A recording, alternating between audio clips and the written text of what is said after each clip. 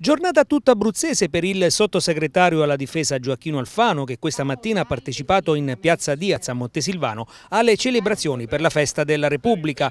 Nel corso del suo intervento il sottosegretario ha sottolineato l'importanza dei valori dell'accoglienza e della solidarietà oltre ai sacrifici dei tanti italiani morti per la patria. Io credo che il messaggio più efficace è quello di far capire ai ragazzi che bisogna combattere non con le armi ma con la formazione interna per essere altruisti, per essere una comunità. Noi continuiamo a fare il nostro dovere di paese accogliente ma lanciamo un allarme che quell'accoglienza non deve essere poi una sofferenza che viene trasferita dalla zona di origine a quella di, di destinazione. L'Europa oh, finalmente ha capito che le nostre rivendicazioni sono non delle scuse ma sono cose serie. Senatrice Chiavaroli, la presenza oggi a Montesilvano del sottosegretario Alfano conferma l'interesse del governo per la nostra regione.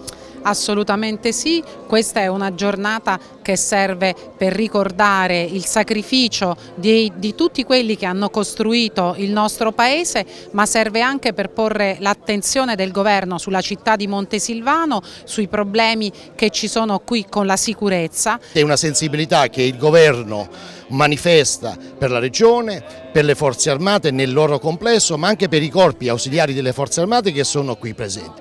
La città di Montesilvano ne deve essere onorata, ne sono onorate le forze armate che lo hanno ricevuto col massimo degli onori e con tutto quello che una cittadina come Montesilvano sicuramente può dare a un'autorità di governo.